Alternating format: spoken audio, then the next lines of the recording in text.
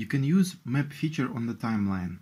I have created statistics event about California population for the last 30 years and first of all I want to add Los Angeles to it.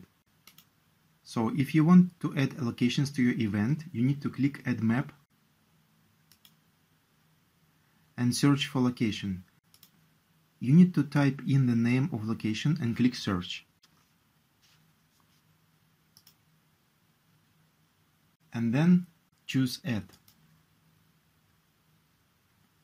If for some reason you want to pinpoint location nearby, you click here. And now you can see coordinates of your location and you can drag the pin around to choose other location.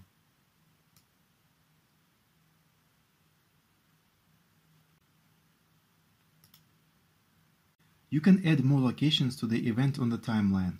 For example, I want to add 5 biggest cities in California. So again, I click Add Map and search for San Francisco, San Jose, San Diego and Fresno.